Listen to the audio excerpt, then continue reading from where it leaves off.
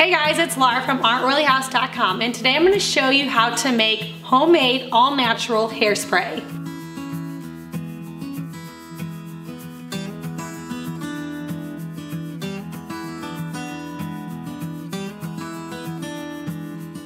Making your own hairspray is actually really, really simple, and I think you guys might be a little shocked when I tell you that the main ingredient for the hairspray is sugar. So the sugar is what makes it hold your hairstyle. The first thing we're gonna do is dissolve the sugar into some water. So I have here one cup of water that I'm gonna just add to a small saucepan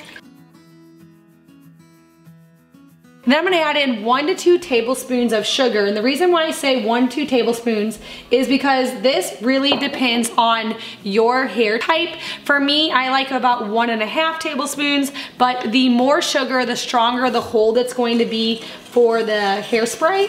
But if you get too much sugar, then it's gonna make your hair feel sticky. Start off with one and a half tablespoons and then you can add more if you think you want it to be a stronger hold hairspray.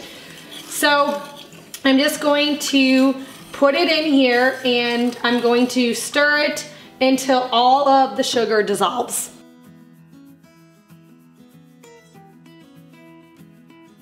Okay, so all of my sugar is dissolved, so I'm going to use this funnel and just pour my sugar water into a glass spray bottle.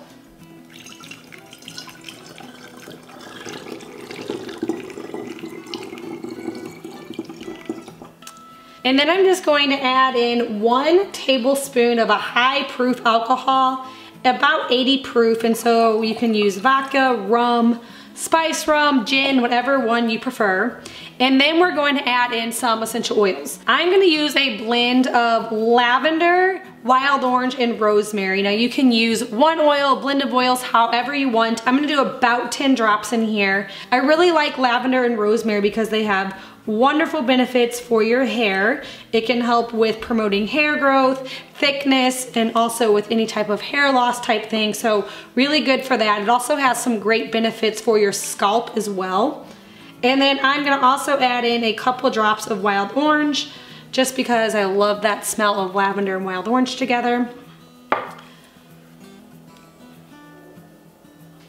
And then I'm just going to put the spray bottle lid on here and give it a good shake each time before you use it just to make sure all the ingredients are well combined and this is ready to go. This is gonna have a shelf life of one year because of that rosemary and that alcohol in here. It's gonna preserve it pretty well and that's whenever it's kept in an airtight container like this. So Hope you guys enjoyed this recipe. If you guys want some more natural hair care recipes, I have my complete playlist linked below where I have a homemade shampoo, conditioner, a hair serum, also some dry shampoo recipes, all different types of things. And also I have a link down there for a label for your spray bottle if you decide to make this. If you guys enjoyed this video, please give it a thumbs up. And if you're new to my channel, please subscribe. I get out new videos every single week on essential oil education, natural remedies, and I share a lot of different healthy recipes. Thank you so much for stopping by our oily house.